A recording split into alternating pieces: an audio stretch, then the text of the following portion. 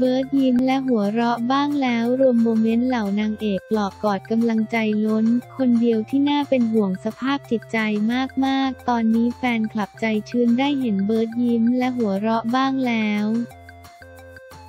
รวมโมเมนต์เหล่านางเอกปลอบกอดกำลังใจล้น ทั้งคนในวงการบันเทิงเพื่อนๆ และแฟนคลับแตงโมพัทรธิดา นิดา ต่างก็ห่วงเบิร์ดแฟนหนุ่มของแตงโมหลังสูญเสียแฟนสาวไปและยังทำใจไม่ได้ ยังคงโศกเศร้าอย่างหนัก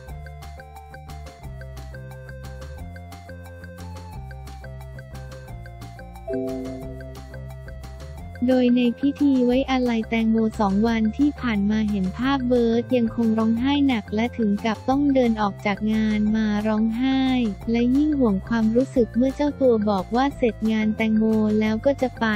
ซึ่งเพื่อนๆก็ยืนยันว่าเบิร์ด ไม่ได้คิดสั้นแต่แต่จะไปพักผ่อนท่ามกลางเพื่อนๆ แตงโมคอยปลอบเบิร์ดไม่ห่างรวมทั้งเหล่าเพื่อนนางเอกในวงการ ไม่ว่าจะเป็นอ้ำพัชราภา เทียทิคำพร นุ่นวรนุชทั้งคอยปลอบกอดให้กำลังใจเป็นต้นนั้นล่าสุดก็พอจะได้เห็นรอยยิ้มและเสียงหัวเราะจากหนุ่มเบิร์ดได้บ้าง โดยนักแสดงหนุ่มปามสุภชัยโพสต์ภาพกับเบิร์ดในงานไว้อาลัยแตงโม เผยให้เห็นรอยยิ้มบางๆ เบิร์ดพร้อมแคปชั่นว่าถ้าเจ๊ยังอยู่เจ้คงตื่นขึ้นมาด่าผมว่า มึงแต่งตัวฮี่ อะไรมางานกูเนี่ย มึงจะไปเป็นบ่อยร้านไหนอะไอ้นี้ผมตั้งใจแต่งตัวมาให้เจ้ด่าเลยนะเว้ย ดีใจกับเจ้ด้วยนะที่ได้แฟนที่ดีแบบพี่@stoner bkk ยังไง ก็ขอให้เจ้หลับให้สบายนะเจ้ ขอให้เจ้ไปเป็นนางฟ้าที่น่ารักของทุกคนบนสวรรค์นะครับ เจ้กูต้องไม่ตายฟรี แตงโมต้องไม่ตายฟรีขณะที่แฟนคลับเผยคลิปเบิร์ดกำลังอยู่ท่ามกลางเพื่อนๆ แตงโมชวนพูดคุยและได้เห็นโมเมนต์เบิร์ดหัวเราะบ้างแล้วก็รู้สึกใจชื้นขึ้นมาเลยทีเดียว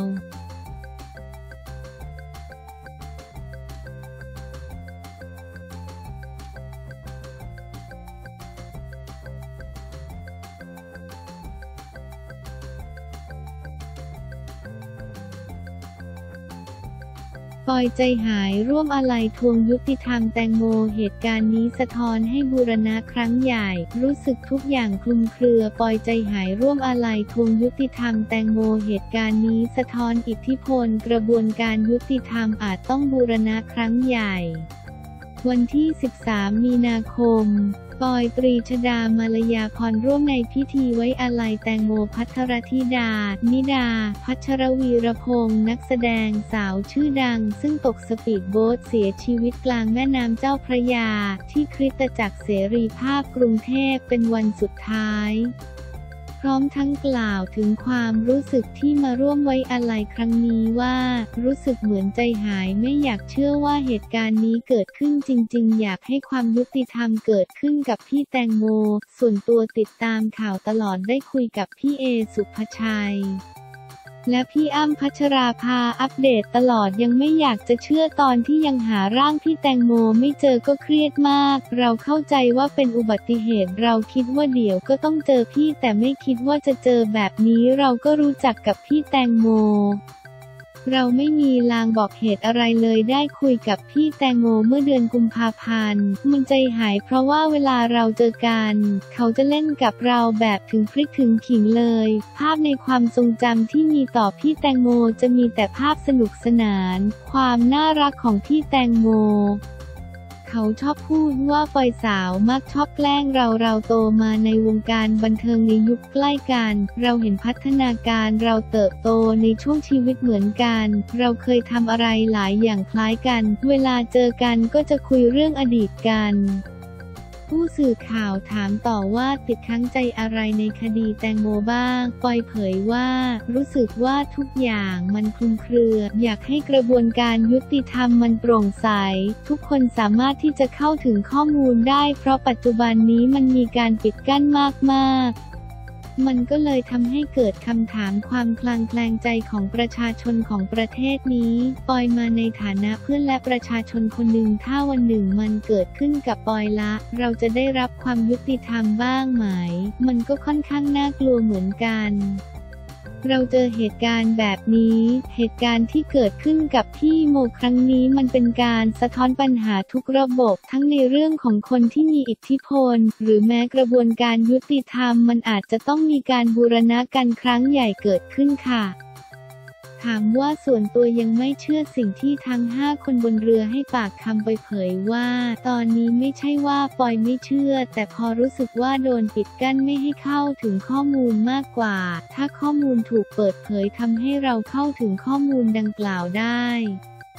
โดยเฉพาะที่สื่อมวลชนสำคัญมากที่จะต้องเข้าถึง พอเราเข้าไม่ถึงมันสามารถทำให้เราจินตนาการได้มากมาย เพราะฉะนั้นถ้าเกิดไม่อยากให้เกิดการจินตนาการเกิดขึ้น ต้องเปิดเผยข้อมูลมันต้องโปร่งใสค่ะ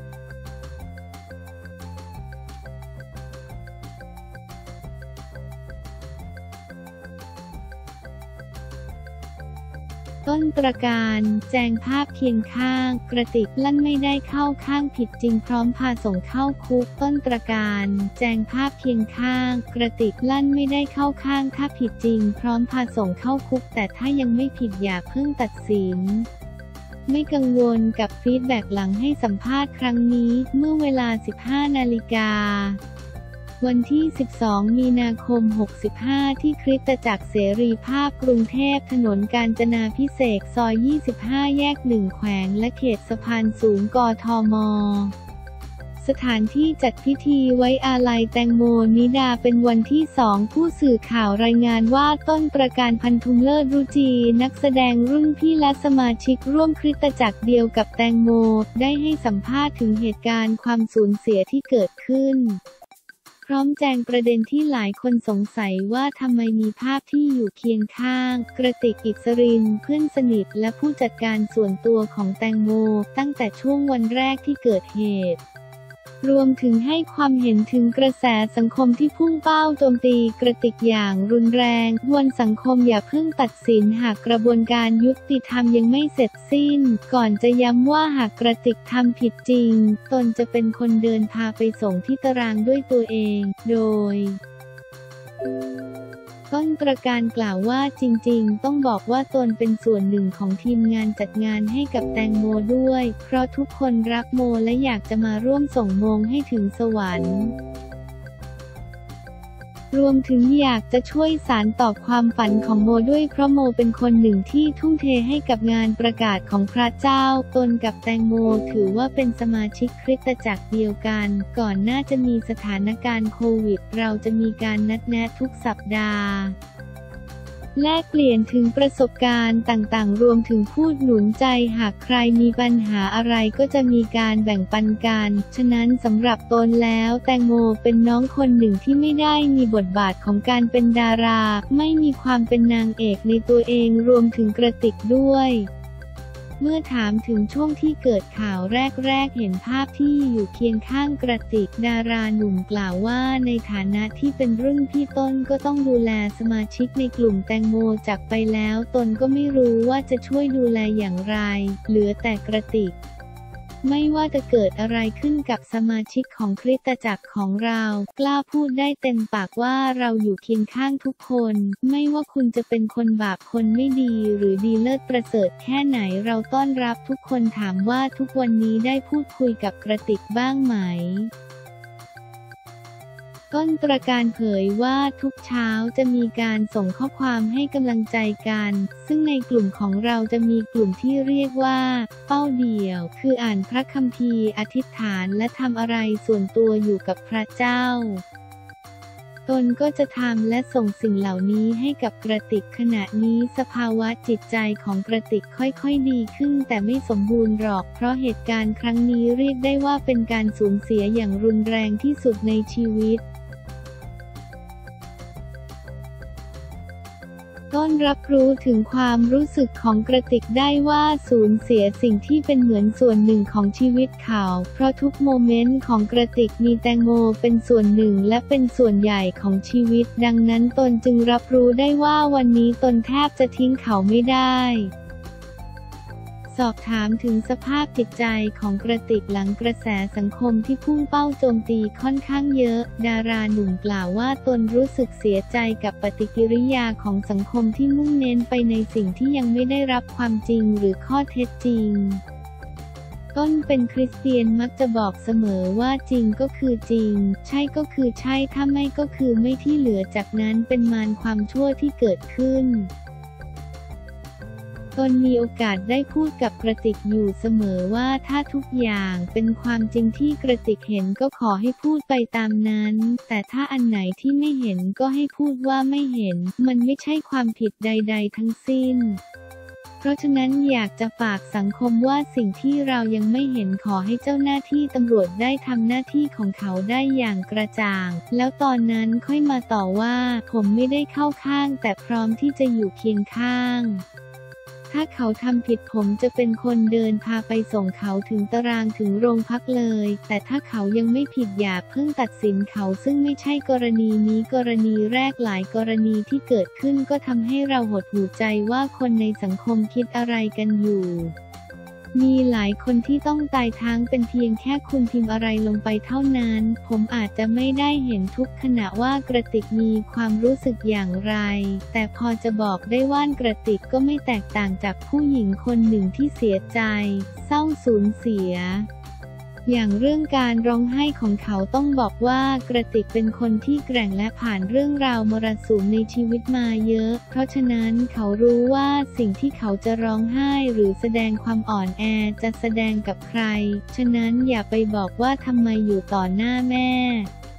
ขอขมาไม่รู้จักร้องไห้ทำไม ไม่รู้จักคำว่าขอโทษทำไม ไม่รู้จักสัมมาคารวะตรงนี้ต้องแยกประเด็นกันไม่ออก นั่นเป็นเรื่องมารยาททางสังคมที่หลายคนคิดว่าการกระทำแบบนั้นจำเป็นต้องอย่างนั้น แต่ทุกคนกำลังลืมไปว่าหากเป็นตัวของคุณเองจะทำยังไง ดาราหนุ่มกล่าวต่อข้อถามว่ากังวลกับฟีดแบ็ที่จะได้รับหลังจากให้สัมภาษณ์ครั้งนี้ไหม ต้นตระการกล่าวว่าไม่กังวลอย่างที่บอกว่าตนไม่ได้เลือกข้างใคร ตนรักแตงโมไม่น้อยไปกว่ารักกระติกคนบนเรือมีสามคนที่ตนรู้จักอีกสามคนตนไม่รู้จักฉะนั้นตนไม่เข้าข้างไม่ตัดสินหรือแสดงความคิดเห็นใด ๆ ทั้งสิ้นจนกว่ากระบวนการทั้งหมดจะเสร็จสิ้นก่อน แล้ววันนั้นถึงค่อยมาบอกว่าใครเป็นคนผิด ใครเป็นคนประมาทควรจะตำหนิหรือใครที่ควรจะถูกต่อว่าจากสังคม ในทางของศาสนาคริสต์เชื่อว่าตอนนี้แตงโมสู่อ้อมกอดของพระเจ้าแล้วหรือยังวันนี้ใจผมอยากให้เลิกพูดถึงเรื่องราวของการค้นหาความจริง เพราะวันนี้โมขึ้นไปอยู่บนสวรรค์กับพระเจ้าแน่นอน ส่วนเรื่องการลงโทษไม่ใช่หน้าที่ของมนุษย์ ระเจ้าเคยตรัสว่าถ้าคุณจะลงโทษใครสักคนหนึ่งต้องไม่เคยทำบาป ถ้าคุณไม่เคยทำผิดบาปใด ๆ คุณลงโทษเขาได้เลย